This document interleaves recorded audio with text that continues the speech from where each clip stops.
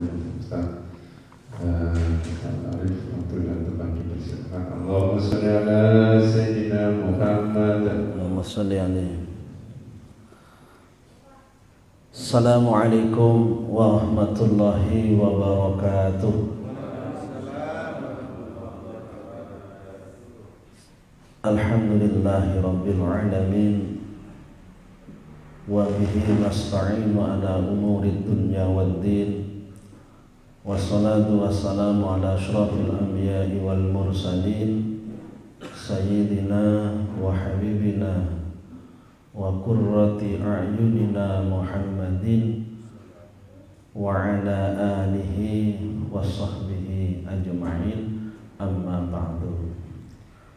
Rabbi shrah li sadri wa yassir li amri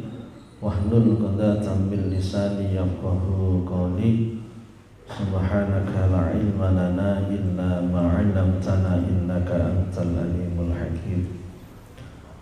Pada para hakim, para sakit, para sepuh, tokoh masyarakat, pengurus majelis ta'lim atau musola al hikmah semua saya hormati para hadirin hadirat rahimakumullah serta para pemirsa Kang Santri TV Al-Dikro Bali dan juga Manah Channel di mana pun saat ini sedang berada yang saya hormati pula. Alhamdulillahirrahmanirrahim kita bersyukur pada Allah Subhanahu wa taala. Di pagi hari ini kita semua senantiasa dilimpahi rahmat, taufik dan hidayah oleh Allah Subhanahu wa taala. Sehingga kita bersama dapat menjalankan ibadah subuh, salat subuh berjamaah di tempat yang kita cintai ini. Dan kita akan melanjutkan kajian fikih seputar kurban. Karena sebentar lagi kita akan memasuki hari raya Idul Adha persiapan ilmu biar kita tidak salah dalam menjalankan ibadah kurban nantinya. Mudah-mudahan kajian ini bermanfaat bagi kita semua sehingga kita semua termasuk orang-orang yang ibadahnya benar dan diterima oleh Allah Subhanahu wa taala dan nantinya kita termasuk orang-orang yang selamat di dunia wal akhirah. Amin ya rabbal alamin. Salawat serta salam senantiasa kita haturkan pada junjungan kita Nabi besar Muhammad Sallallahu Alaihi Wasallam dan keluarga dan sahabatnya dan mudahan kita semua kelak di yaumil kiamah mendapatkan syafaatnya. Hadirin hadirat rahimakumullah. Kita tahu sebentar lagi kita akan masuki bulan Dzulhijjah. Alhamdulillah beberapa waktu yang lalu, beberapa hari yang lalu saudara kita calon jamaah haji sudah berangkat menuju ke Masjidil Haram menuju ke Mekah Madinah untuk melakukan uh, rangkaian ibadah haji sampai pada akhirnya nanti kalau sudah waktunya. Dan mudah-mudahan mereka semua senantiasa dilancarkan oleh Allah dalam ibadahnya dan menjadi haji-haji yang mabrur diterima ibadahnya dan senantiasa diberi balasan surga oleh Allah Subhanahu wa taala. Walhajjul walhajjul mabruru laisa lahu jazaa'un ilal jannah. Dan mudah-mudahan kita semua pada gilirannya nanti ya, juga ikut bisa menjalankan ibadah haji walaupun nunggunya masih lama ya kalau daftarnya belum tidak tahu. Ya. daftarnya sekarang saja sudah lebih dari 20 tahun ya, gilirannya. Tapi Allah alam mudah-mudahan oleh Allah dilancarkan semuanya. Kemudian insya Allah hari Kamis besok itu sudah memasuki tanggal 1 Dzulhijjah. Tanggal 1 Dzulhijjah tanggal 30 Juni kalau tidak berubah ya. tidak tahu apakah nanti ada ru'yatul hilal di ru'yah kemudian baru ditetapkan atau memang sudah pakai hisab sehingga hari Kamis itu kemungkinan tanggal 1 Dzulhijjah. Bulan Dzulhijjah merupakan bulan yang istimewa di mana kita harus manfaatkan segala kesunahan yang disunahkan untuk kita kerjakan di bulan tersebut. Ada beberapa amal sunnah yang bisa dikerjakan di bulan Dzulhijjah. Karena kita tidak hanya mengerjakan yang wajib, yang wajib kita kerjakan, yang sunnah jangan sampai kita tinggalkan. Dan alhamdulillah kita masih diberi kesempatan oleh Allah. Mudah-mudahan terus diberi kesehatan, terus diberi hidayah dan taufik sehingga terus bisa beribadah beramal saleh sampai dengan akhir hayat kita. Tanda tahu sampai kapan kesempatan ini diberikan pasti akan ada akhirnya nih, mereka yang mati dulunya hidup seperti kita kita yang hidup nantinya pasti mati seperti mereka. Dan malam tadi sahabat saya salah satu pendakwah yang ada di Bali Ustaz Mulhak alumni Sutradiri dipanggil menghadap pada Allah Subhanahu wa taala kita doakan mudah-mudahan ibadahnya diterima oleh Allah Subhanahu wa taala. Seperti itulah kematian, masih sangat muda. Usianya jauh di bawah saya. Allah berkehendak beliau harus menghadap terlebih dahulu sebelum kita pada Allah Subhanahu wa taala. Mudah-mudahan ditempatkan di tempat yang mulia sini Allah Subhanahu wa taala. Pelajaran bagi kita semua bahwa kita pun juga akan mengalami hal yang sama. Kita akan menghadap pada Allah. Dan ajaluhum la yastakhiruna sa'ata wa la yastaqdimun oleh sebab itu kesempatan yang ada ayo kita manfaatkan. Jangan sampai kita sia-siakan. Waktu yang sudah lewat tidak akan bisa kembali waktu yang akan datang belum tentu kita jumpai. Selagi kita punya waktu harus kita manfaatkan jangan sampai kita sia-siakan. Sepuluh yang pertama dari bulan Dzulhijjah mulai hari Kamis itu kita disunahkan untuk puasa sampai tanggal 9 Dzulhijjah. Jadi puasa itu sunnahnya bukan hanya pada tarwiyah dan arafah mulai awal Dzulhijjah namanya uh, asrul awal min Dzulhijjah dalam istilah fikih seperti itu. 10 hari yang pertama dari bulan Dzulhijjah tanggal 1 sampai tanggal 9 itu kita disunahkan untuk puasa. Bagi yang mau menyembelih hewan korban disunahkan untuk tidak memotong kuku dan memotong rambut mulai tanggal 1 kalau mau potong rambut potong kuku lakukan sebelum tanggal 1 sunnahnya tidak memotong sampai dengan hewan korban disembelih bagi yang berkorban kemudian kesunahan puasa kalau tidak mampu dilakukan mulai tanggal 1 itu bisa melakukan puasa tanggal 8 dan tanggal 9 namanya puasa tarwiyah untuk tanggal 8 nya dan arafah pada tanggal 9 nya dalam hadis riwayat Imam At-Tirmidzi Rasul sampaikan siamu yaumi arafata ahtasibu indallahi uh, yukaffiru uh, asanah allati qablahu wallati ba'dahu. Puasa di tanggal 9 Dzulhijjah atau puasa Arafah aku meyakini kata Nabi Allah akan memberikan ampunan dosa dosa yang akan datang dosa yang sudah lewat dan dosa yang akan datang. Hasanah allati ba'dahu wallati qablahu.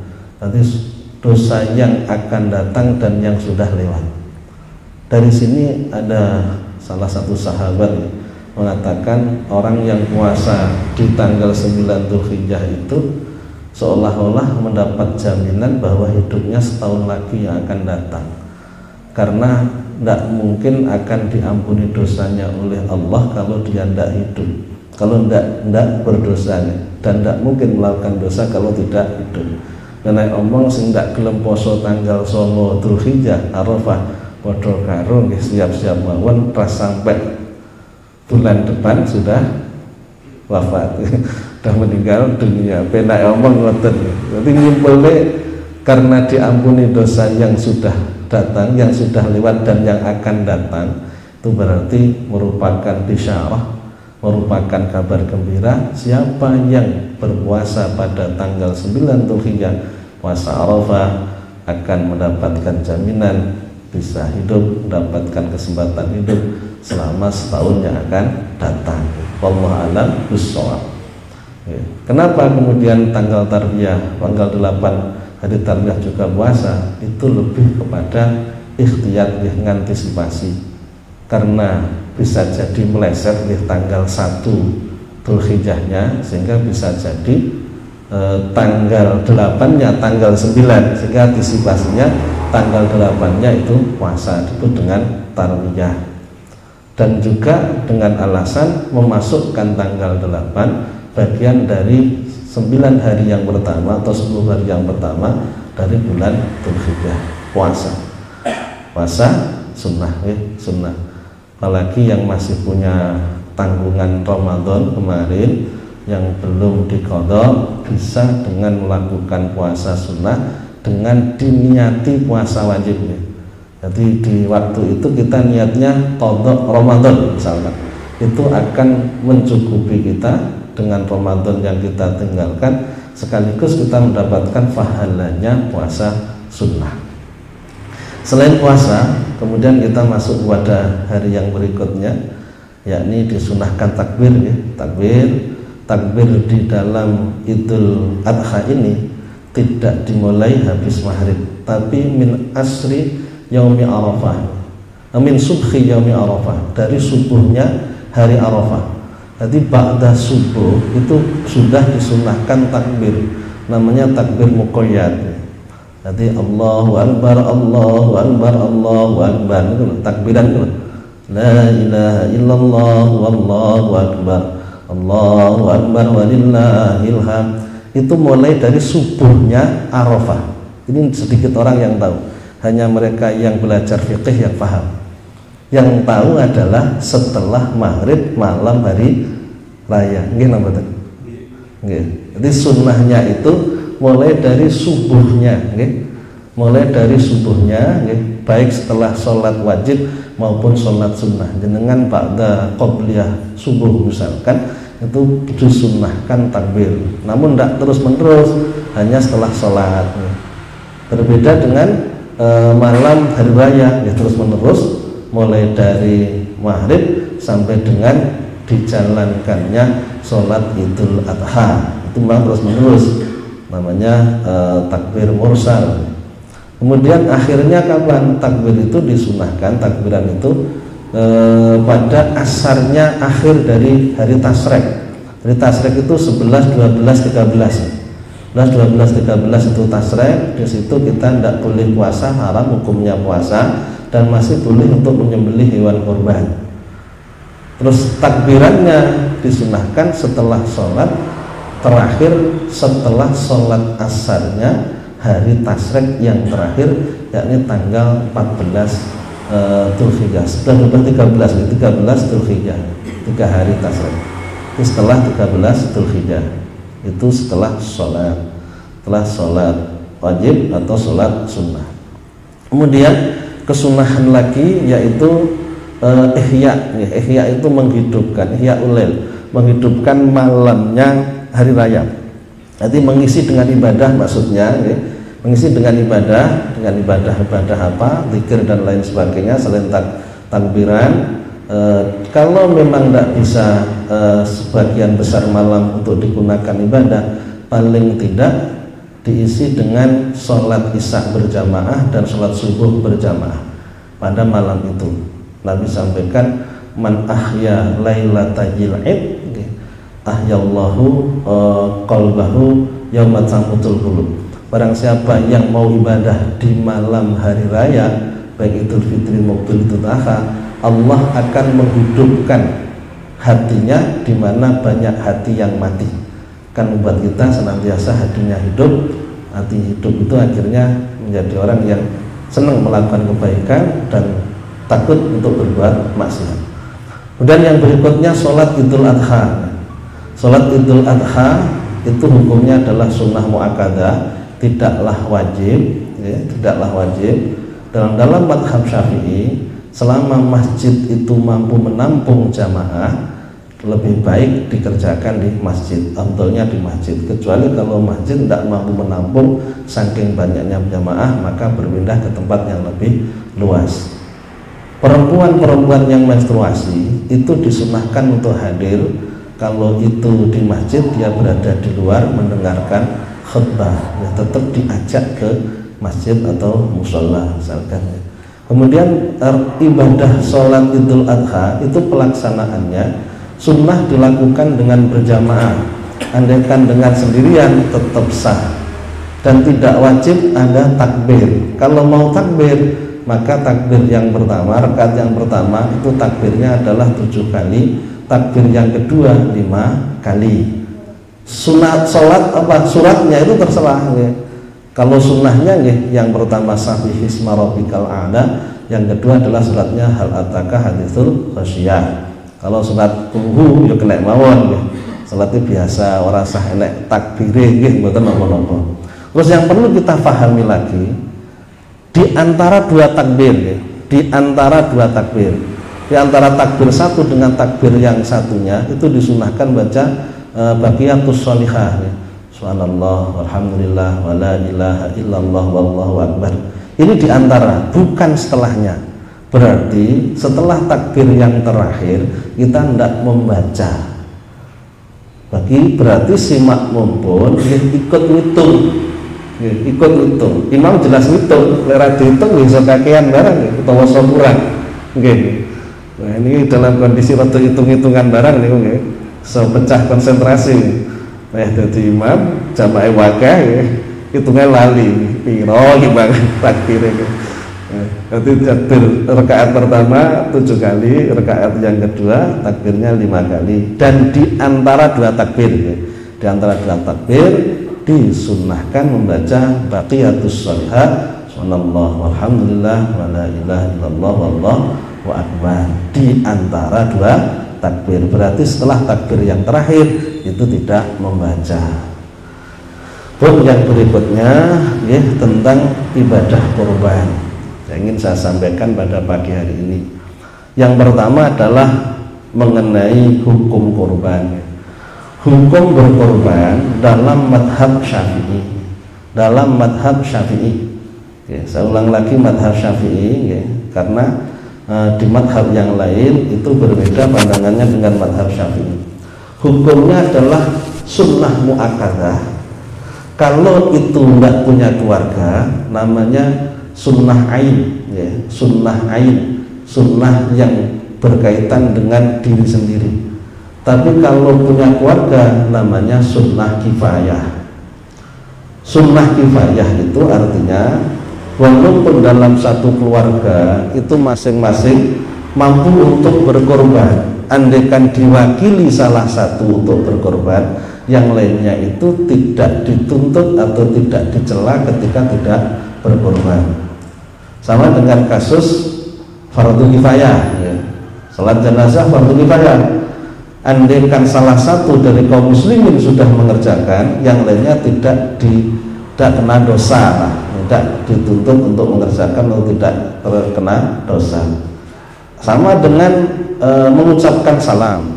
Di saat kita banyak orang kemudian salah satu kita mengucapkan salam dengan yang lainnya maka yang lainnya itu tidak ada tuntutan untuk mengucapkan salam. Orang kuwabeh soalan betul. Salah sitok cukup mengucapkan assalamualaikum kalau kita bersama orang banyak. Dalam urusan korban juga demikian.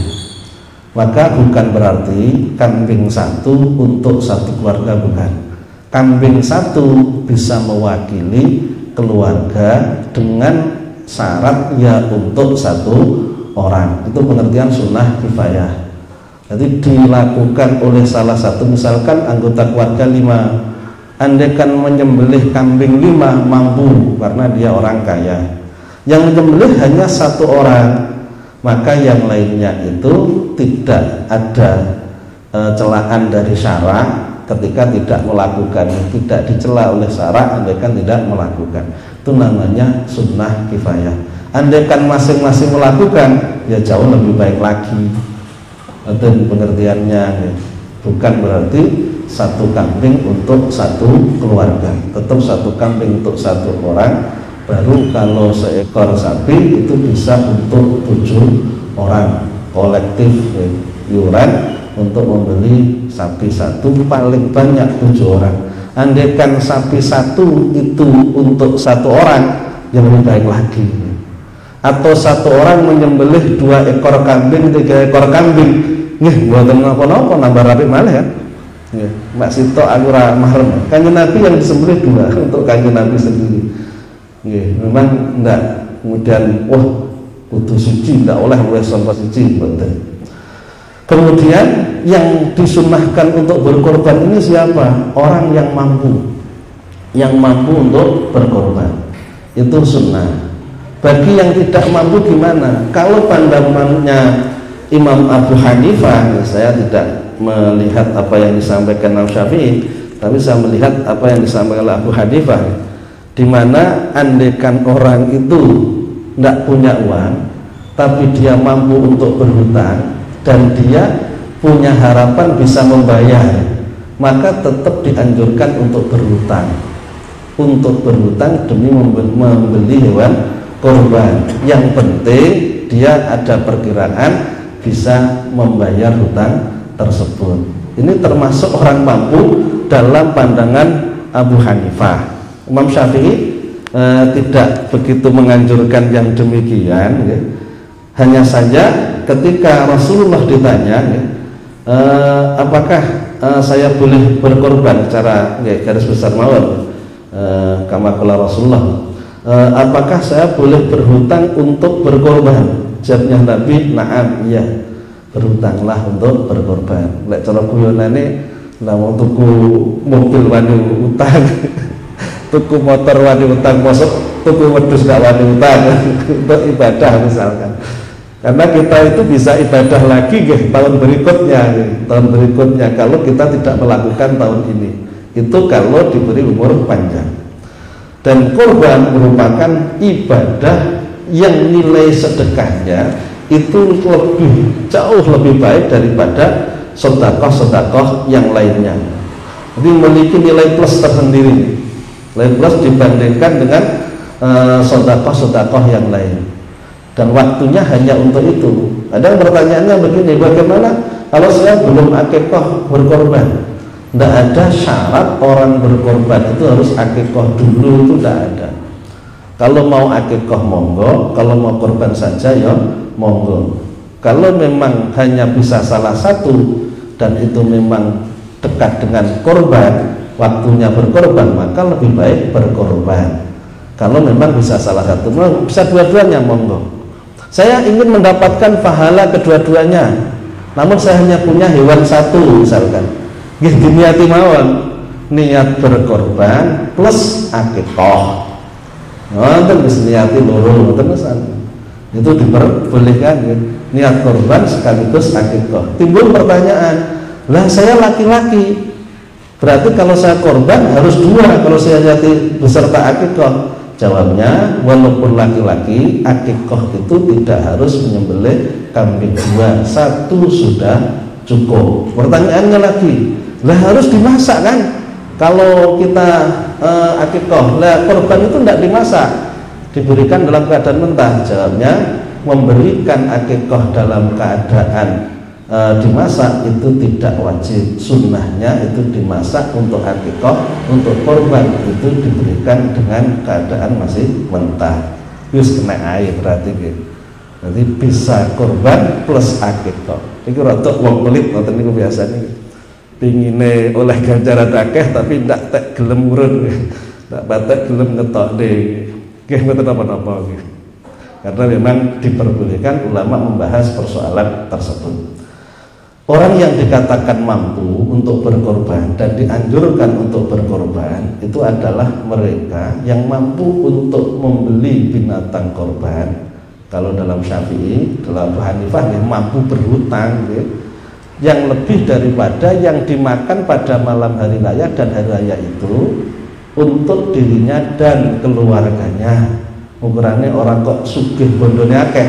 Tapi di saat itu ngoten loh di hari itu kok ketepatan pas oleh rezeki. Masih omek duwene niku lho? Orang duwe liyane. Nggih dianjurkan untuk berkorban.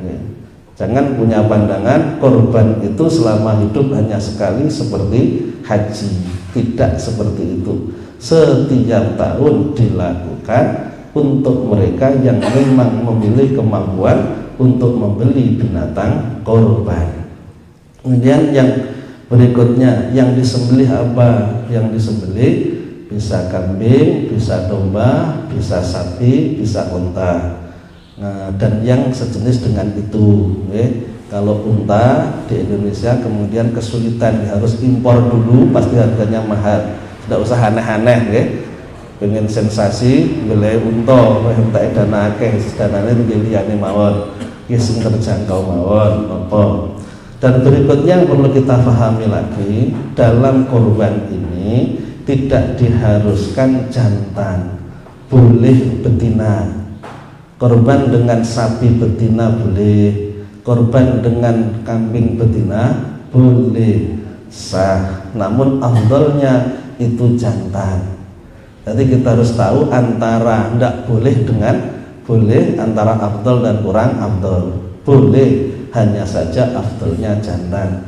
Karena pasti lebih mahal yang jantan dibandingkan dengan yang betina. Semakin banyak yang disedekahkan semakin banyak pahala berarti semakin afdol namun kita harus tetap melihat situasi dan kondisi ekonomi. Bagi panitia ya sebaiknya juga bisa eh, apa nih bisa menjembatani kekurangan eh, jamaah tentang masalah ekonomi yang hanya mampu untuk menyembelih binatang korban yang betina. Saya di tempat pengajian saya saya anjurkan karena memang ekonomi tidak sama ya beli yang betina yang lebih e, murah dibandingkan yang jantan. Daripada tidak korban ya. tapi sebenarnya bukan daripada tidak korban ya. tetap sah mawon kan? Hanya saja kalau ngambil abdulnya tetap abdul yang jantan. Kalau daripada tidak korban itu ikut pendapatnya Abu Hurairah atau Ibnu Abbas itu korban pakai ayam ya jadi, karena hadisnya itu tidak ada amalan yang lebih dicintai Allah di hari raya Idul Adha dan hari Tasrek itu eh, kecuali irokotidam atau hirokotidam mengalirkan darah. Dengan bahasa mengalirkan darah sing penting beleh. Sing dibeleh opo buh itu buh mentok buh bebek sing penting beleh. Karena melihat hadis itu mengalirkan darah yang penting. Sehingga walaupun tidak bisa mampu dengan kambing dia bisa dengan menyembelih ayam Insya Allah kalau yang di Al-Hikmah itu kambing kalau sapi ya. Kalau sapi betina itu kalau di tempat saya itu murah ya. ya kolektifnya hanya satu juta tujuh ratusan Insya Allah masing-masing itu mampu kalau memang ingin benar-benar memanfaatkan kesempatan untuk ibadah jadi korban itu bagian dari ibadah kita kepada Allah. Ibadah, niat ibadah. Insya Allah masing-masing mampu dengan jangkauan kemampuan masing-masing. Apakah bisa menjangkau yang jantan atau yang betina, namun usahakan eh, ikut berkorban pada tahun ini karena belum tentu bisa ketemu eh, hari raya Idul Adha pada tahun yang berikutnya. Kemudian yang perlu kita pahami lagi biasanya tentang masalah makan hewan korban. Saya sengaja tidak membaca hadis. Di sini ada hadis, ya hadis itu semua ini. Saya pakai kitab-kitab besar ini.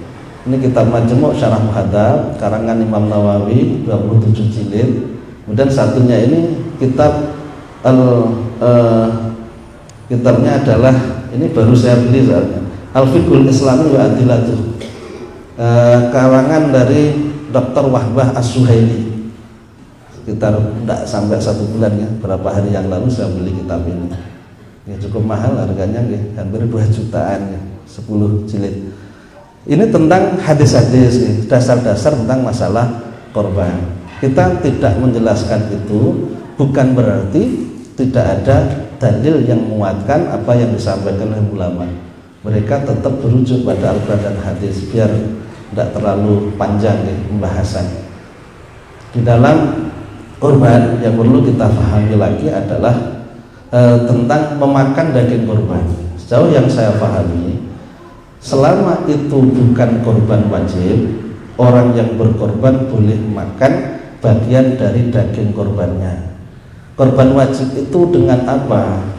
Korban wajib itu lebih kepada karena nazar. Orang membeli binatang korban kemudian meniatkan binatang itu untuk digunakan korban tidak jatuh wajib namun menurut Imam Abu Hanifah itu jatuh wajib sehingga ini dilematis kalau kita tidak bahas secara mendalam, kita akan masuk pada pemikiran yang tidak salah sebenarnya. Bu Hanifah mengatakan wajib. Jenengan beli korban, beli kambing. Kambing buat apa ini? Buat korban. Berarti kan mengkhususkan kambing ini hanya untuk korban, bukan untuk yang lainnya. Dari ini Bu Hanifah mengatakan Imam Hanafi bahwa sudah jadi korban wajib sehingga tidak boleh makan dagingnya bagi yang berkorban. Sedangkan Imam Syafi'i tidak demikian. Memang untuk korban, tapi kan tidak nadar. Kalau tidak nadar, jatuhnya tetap korban sunnah. Di dalam kitab Majmu' Syarah Muhadzab e, disampaikan walau stara badanatan aw syattan tasluku litadhiyah biniyati tadhiyah awil hadyi lam tasir bi mujarrati sirah dhahiyatan wala hadyan. Hadha huwa as-shawab alladhi qata'a bil ashab fi kulli turuq ketika orang membeli onta atau kambing yang pantas digunakan untuk korban dengan niat digunakan untuk korban atau e, untuk haji ya, untuk e, denda dari e, ketika orang haji dan lain sebagainya lam tasir bimujarati surat tidak jadi korban dengan hanya sekedar membeli artinya tidak jatuh korban wajib ketika orang meniatkan untuk menggunakan korban terhadap binatang korban yang dibelinya. Dari sini andaikan makan diperbolehkan. Kalau korban-korban sunnah, ya, korban yang merupakan korban sunnah berapa yang boleh dimakan? Sunnahnya paling banyak sepertiga. Ya. Sunnahnya sebenarnya tidak ada aturan khusus seberapa banyak. Yang penting ada yang disedekahkan walaupun hanya sedikit yang lainnya untuk makan sendiri tidak apa-apa tapi kalau yang seperti itu jangan dititipkan ke panitia keseltop panitia berarti boleh digomule panitia ini oleh ngetum harus tak pangan dewe gitu misalnya ngono ya ini paling lingal ikut kipi gitu korban itu gomule kan sebenarnya yang diberikan sebagian saja sudah cukup. Tidak sampai sepertiga. Itu sudah cukup. Selebihnya dimakan sendiri tidak apa-apa.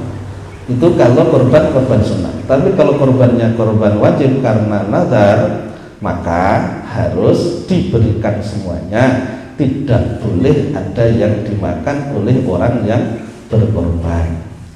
Dan yang berikutnya bagaimana hukumnya ketika kita mau mengkorbani orang yang meninggal dunia? Untuk korban ini sebenarnya diharuskan ada niat bagi masing-masing yang berkorban.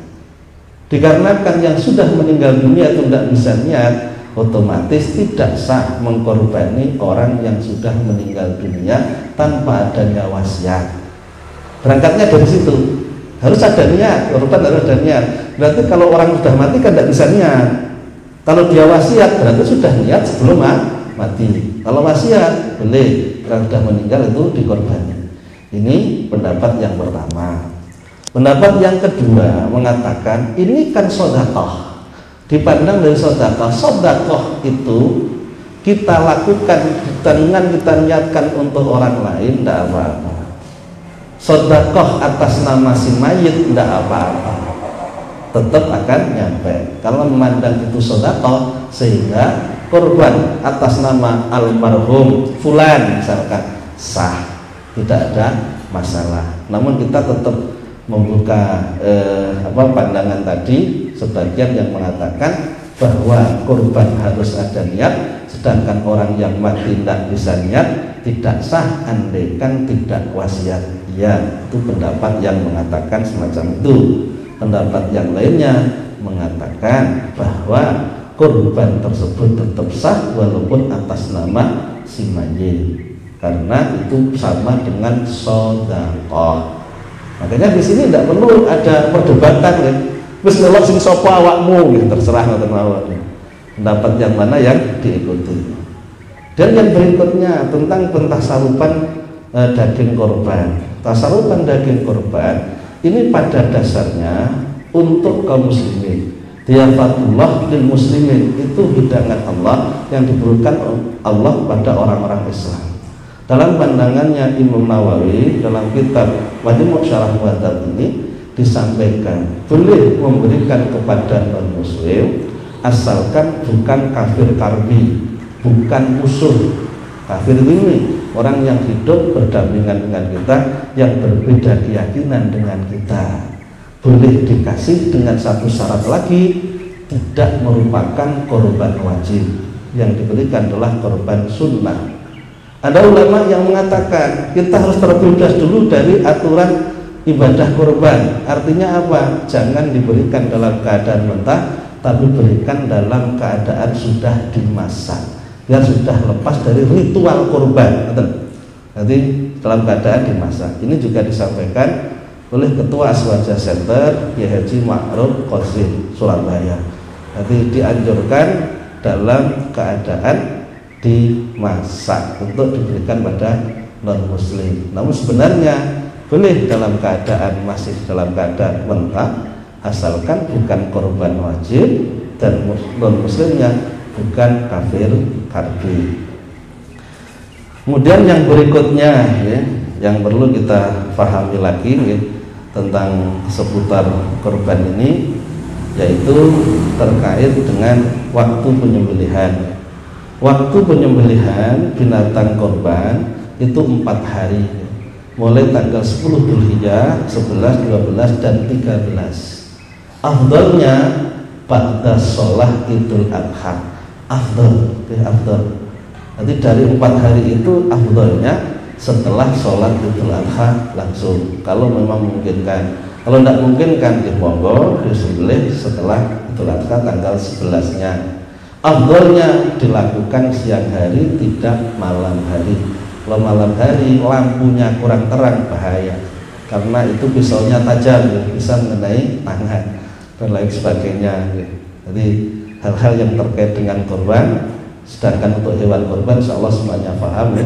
Harus memenuhi persyaratan-persyaratan tertentu tidak cacat dan lain sebagainya dengan umur-umur yang sudah masuk umur boleh digunakan untuk korban.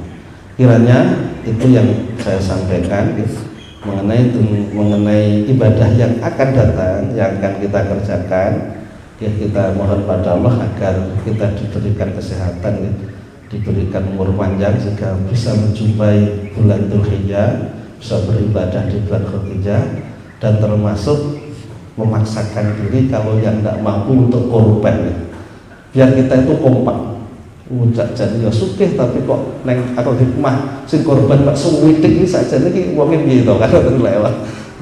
Jadi rada dipaksa gelem korban ya, walaupun patungan sapi betina dengan biaya yang tidak begitu banyak, ya, tidak begitu mahal. Kalau kambing mungkin berat bagi yang tidak mampu karena kambing dengan harga 3 juta itu sangat kecil sekali, 3 juta setengah sangat kecil tapi kalau dengan patungan sapi insya Allah lebih ringan. Apalagi sapinya sapi betina. Oke itu saja yang dapat saya sampaikan. Dan bermanfaat. Untuk selebihnya monggo yang mau bertanya seputar dari materi yang saya sampaikan atau yang lainnya. Silahkan